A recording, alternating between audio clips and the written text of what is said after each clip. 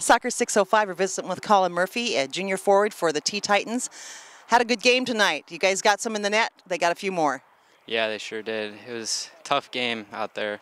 It was tough to keep up with their forwards, and it's tough to get those goals by their back line. Ah, but you got some in. They are. They do have some nice speed, don't they? Um, and Colin, you guys have not really had as much competition this year as you might have had, like you got tonight, right? Right. Yes, we have haven't played to a team of this speed, wise, and skill level for a long time.